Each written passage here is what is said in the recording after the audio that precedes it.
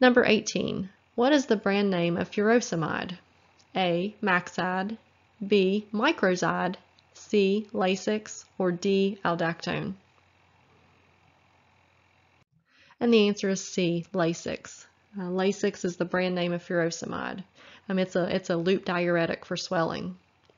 Maxzide is the brand name for triamterene with HCTZ. Microzide is the brand name for HCTZ or hydrochlorothiazide. Um, aldactone is the brand name for spironolactone. And all of these medications are diuretics. For more practice test questions, click below to see my complete Top 200 Drugs quiz and please subscribe to be notified when I have new videos. Thanks, I really appreciate it.